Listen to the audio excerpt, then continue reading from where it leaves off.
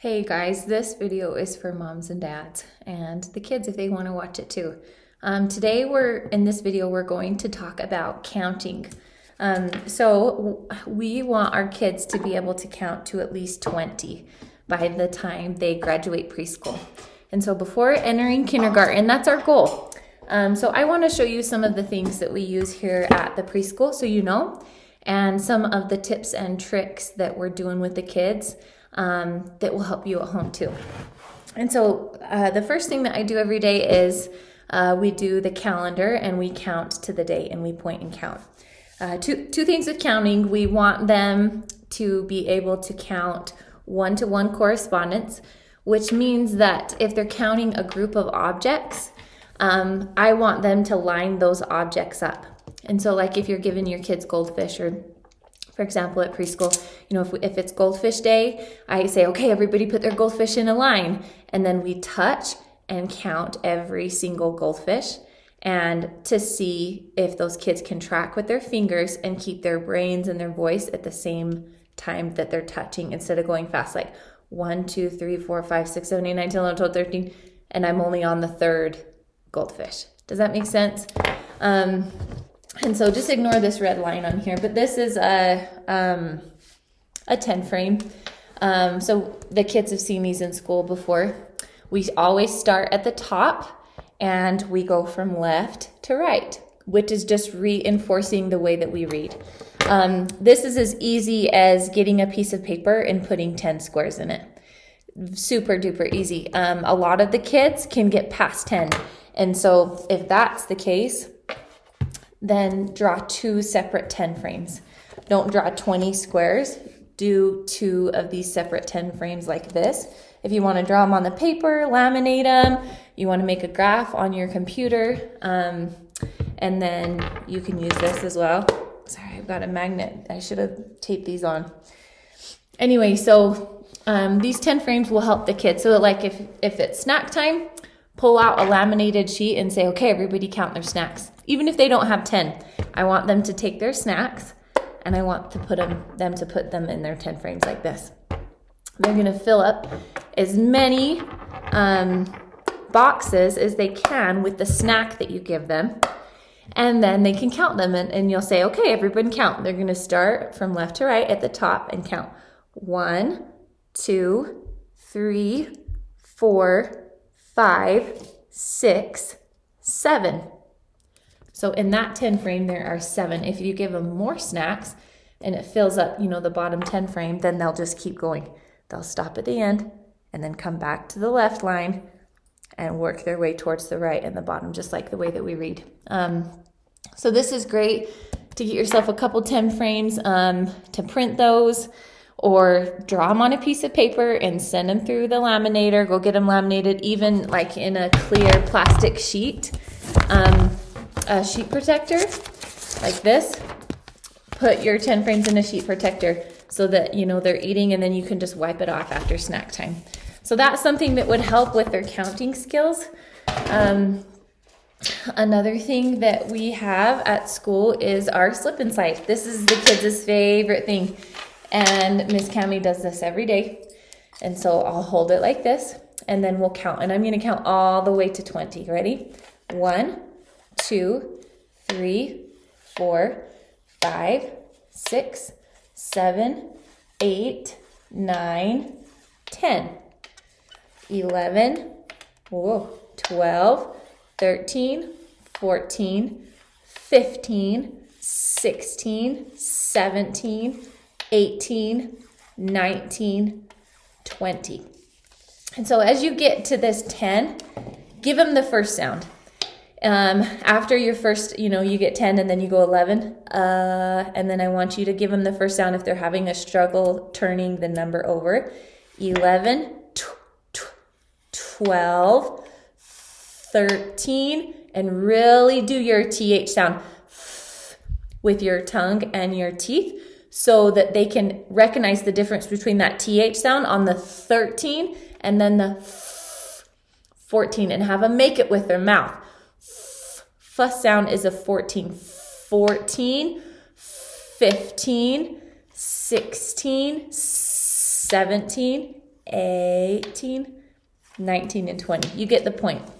And so, but really exaggerate the way that your mouth is shaped because kids who are hard of hearing or have a hard time differentiating those sounds because they do sound the same that th um, and the f and so that's why a lot of the kids will say four or what is it? 13 thir- 13 or go 13 14 again. Anyways that's why that 13 14 15 is hard because we really need to exaggerate the shape of our mouth. Um, this is something that i have made for the kids out of cardboard. You can do this. Doesn't have to be black. This is just cardboard to make them all the same. I got it at the dollar store. And red and white beads. The reason that they do the red and white beads um, is so, you know, when your kids get older, they can start counting by fives. Five, 10, 15, 20. Um, they can start seeing a relationship between five and two more, make seven.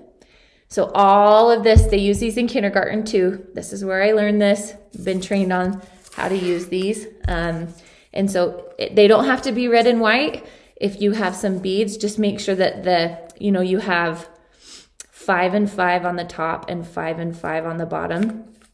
Even if you did, you know, four different colors, you could do that instead of the two, but it just helps them see the relationship between five and five. All it is is a piece of cardboard and two pipe cleaners and 10 beads. And then on the back, all I've done is wrapped this pipe cleaner around and taped it. So it's super easy to make. We have these in class. Every single kid has one of these.